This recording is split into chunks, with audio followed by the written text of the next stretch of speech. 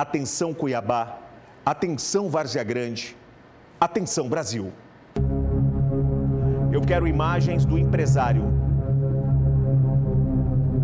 Tony da Silva Flor, 38 anos de idade. Um homem trabalhador, um cara honesto, querido pela família, querido pelos amigos, cara com uma vida inteira pela frente. Era uma terça-feira, o ano era 2020.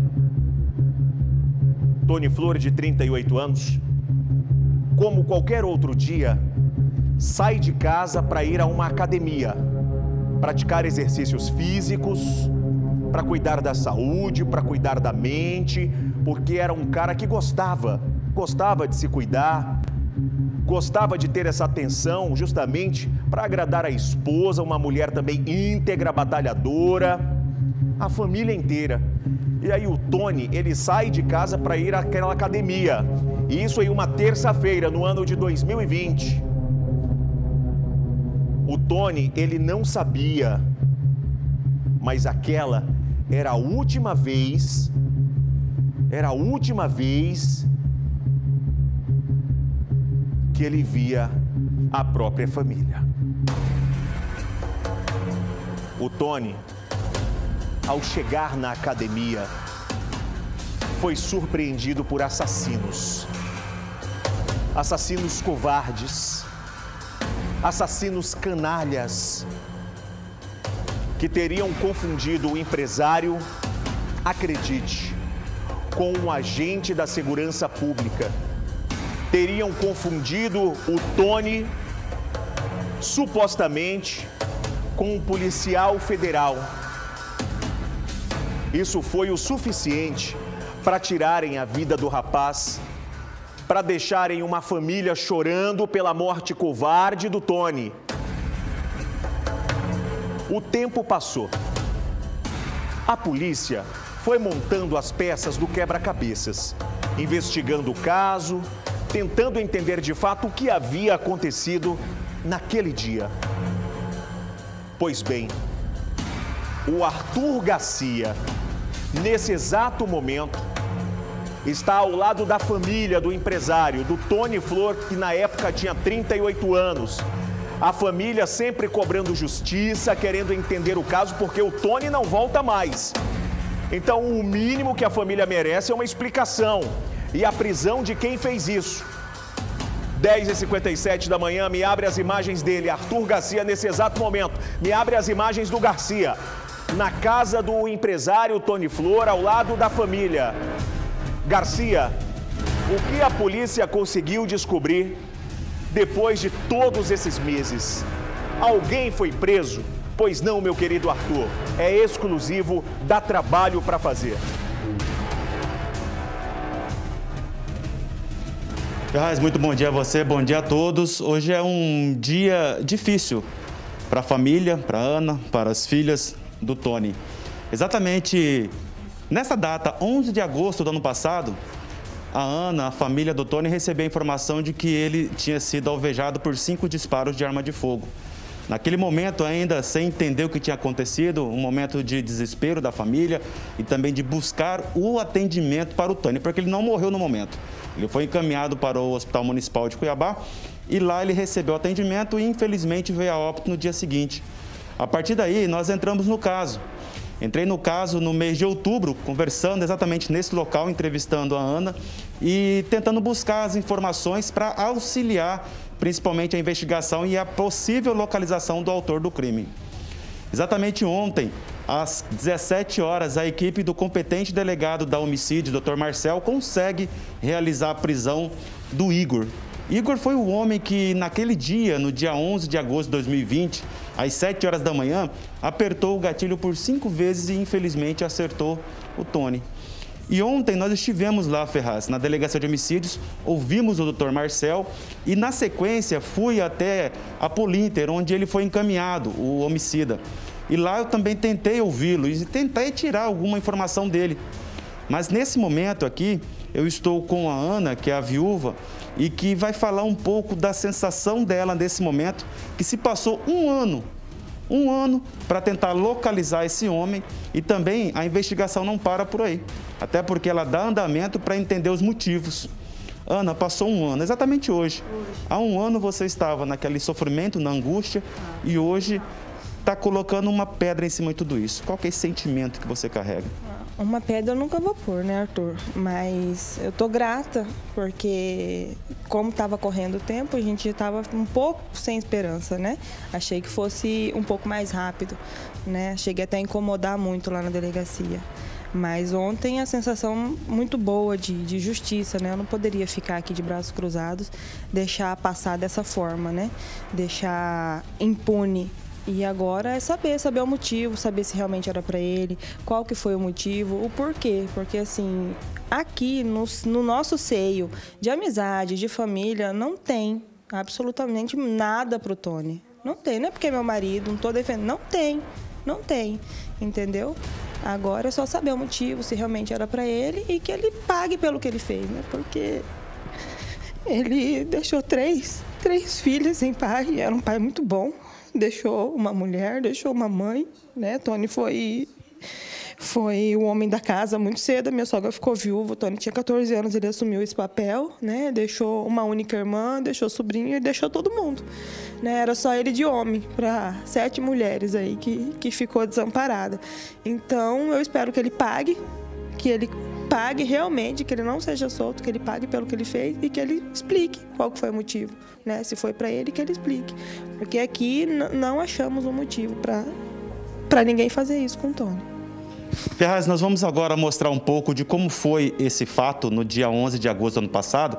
E na sequência nós vamos já colocar a entrevista com o Dr. Marcel ontem à noite na DHPP e depois tentando ali entrevistar esse assassino quando estava sendo encaminhado para a Polinter. Acompanhe agora essa matéria exclusiva. O dia era 11 de agosto de 2020.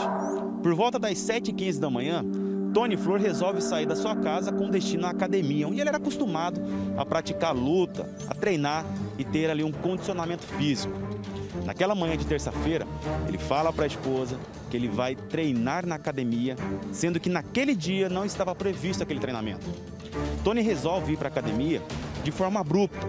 Ele resolveu naquele momento e falou para a esposa, falou, eu vou malhar, eu vou treinar hoje, eu vou lá na academia lutar.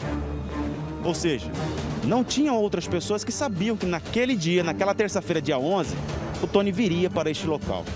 E exatamente neste ponto, ele chega às sete e meia da manhã, para o seu veículo neste local, desembarca.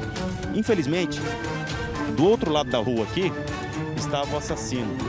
Um homem uma motocicleta de cor escura, que já estava esperando aqui por algum tempo. Assim que Tony desembarca do veículo dele, ele é surpreendido por esse criminoso.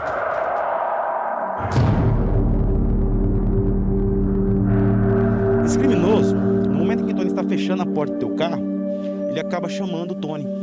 Só que ele não chama pelo nome de Tony. Ele chama o Tony pelo nome de Michel. Nesse momento, Tony, fechando o veículo, ele vira e o rapaz, o assassino, acaba desferindo dois disparos contra Tony. Tony levanta os braços e grita: Fala, não sou Michel, não sou Michel. Pare de atirar, não sou Michel. Mesmo assim, o assassino continua apertando o gatilho e atinge Tony mais três vezes. No total, cinco disparos atingiram Tony.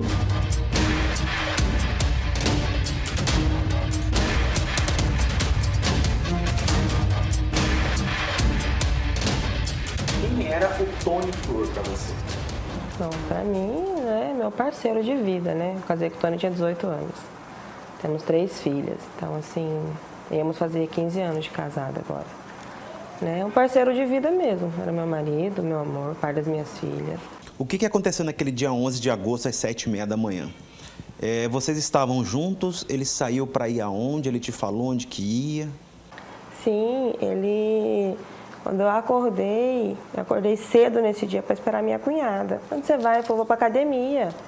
Eu falei, mas hoje não tem treino, que eu sei os horários dele, eu sei tudo dele, né? Ele falou assim, ah, não, mandaram aqui que vai ter um treino lá para os policiais que estão de folga e aí vão fazer terça, quinta e sábado, aí eu vou. E foi essa, vim com ele até na porta, né, me despedi, dei um beijo nele, 7h36 da manhã, pior ligação da minha vida. Ele Quem te ligou? Tony me ligou.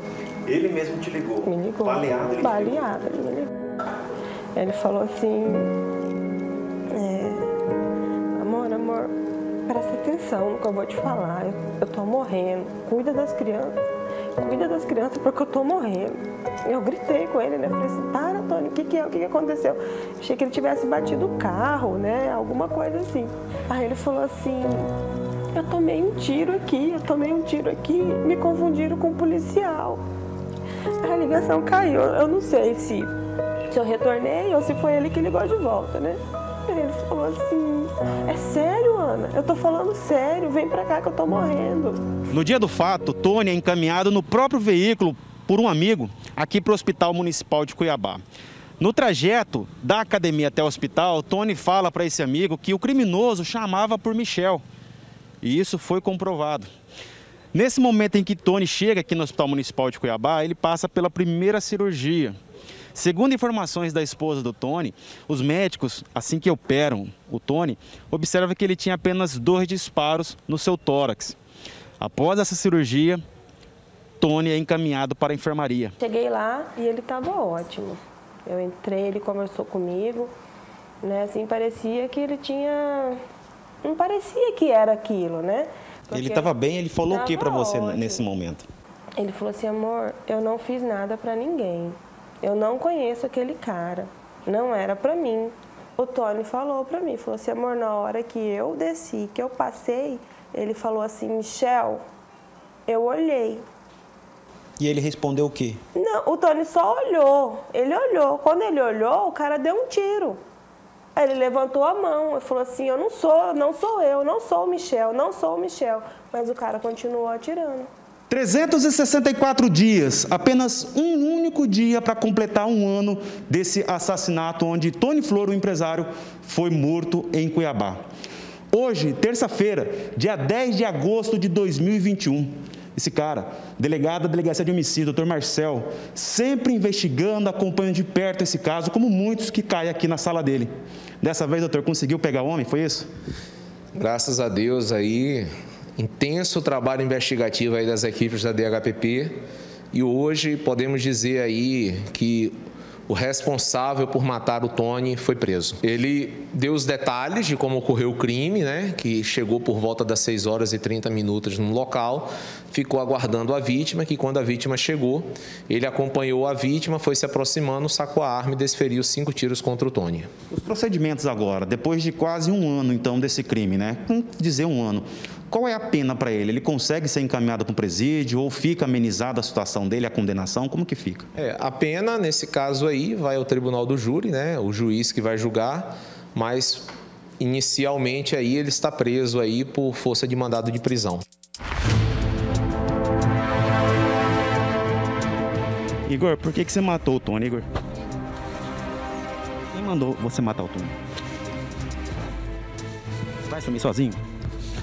Quem matou Igor? Por que te mandaram matar ele? Fala aí. Seu momento, cara.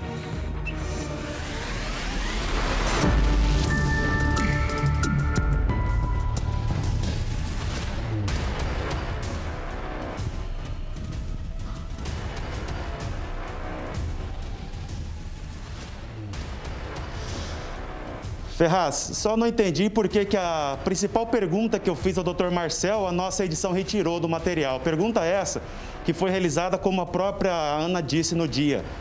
O Tony, quando estava no hospital, disse para Ana, falando, olha, lá o cara me chamou de Michel, Michel. E eu perguntei ao Dr. Marcel, que infelizmente tiraram da edição, falei, doutor, a Ana disse que falaram para o Tony que chamaram ele por Michel. O assassino confessou para o senhor Aí o doutor, infelizmente, não conseguiu me responder. Então, tem muitas perguntas nesse caso que nós não tivemos essa resposta. Mas nós vamos acompanhar porque, lógico, existe essa suspeita de que não era para o Tony ter sido alvejado, e sim esse suposto PRF ou Michel, como estão falando. É lógico que a investigação vai avançar a partir de agora, viu, Ferraz? E O fato é, o assassino, o homem que naquele dia 11 de agosto apertou o gatilho e tirou a vida do Tony, esse está preso, lógico, para o alívio da Ana, que nós já entrevistamos aqui, Ferraz. É, é, aquilo que eu disse, né, Arthur? Infelizmente, o Tony ele não vai mais voltar. Deixou aí a esposa, deixou os filhos, deixou os amigos que agora lamentam a morte dele. Ele não volta mais.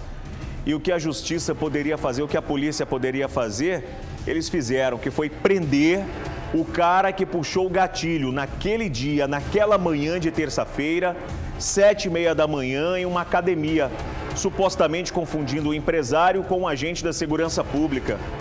Então, minha senhora, seu esposo ele não volta mais, ele não volta. Mas eu entendo que a justiça foi feita, porque o cara que puxou o gatilho está preso. E a gente espera agora que o juiz, que o magistrado que vai apreciar esse caso mantenha esse cara preso e dê pelo menos uns 30 anos de cadeia para esse vagabundo que puxou o gatilho, que matou o seu marido, tá? Tá? Que Deus conforte a senhora, conforte os seus filhos aí. Parabéns ao Arthur Garcia, que desde o começo acompanhou esse caso. Foram 364 dias, faltando um dia para completar um ano. O cara foi preso e o Arthur sempre lá, buscando uma resposta, tentando entender, até mesmo para dar um esclarecimento para a sociedade e para essa mulher que perdeu o marido de forma tão brutal, tão covarde naquela manhã. Então quero parabenizar você, Arthur, por essa grande cobertura, parabenizar a equipe que estava nesse caso e agradeço a senhora por receber a nossa equipe gentilmente na sua casa, mesmo em um momento como esse, em um momento de dor, tá, minha senhora? E que Deus conforte aí a família da senhora e conforte todos os seus parentes nesse momento e que o juiz mantenha o assassino preso. É o mínimo que pode ser feito agora tá? E parabéns também ao pessoal da Polícia Judiciária Civil, o delegado que conseguiu realizar a prisão. Arthur, me confirma mais uma vez o nome do doutor, do delegado, que tão gentilmente é, recebe você, recebe o programa Olho Vivo e conseguiu realizar essa prisão, Arthur. Doutor Marcel Ferraz. Doutor Marcel, doutor Marcel, muito obrigado pela atenção com o nosso querido Arthur, com a equipe do programa Olho Vivo. E obrigado, doutor, pela atenção com essa família, prendendo o assassino nesse momento. Obrigado, Arthur. Qualquer atualização, qualquer novidade, é só me chamar, porque aqui no programa Olho Vivo você tem prioridade, porque a informação ao vivo não para.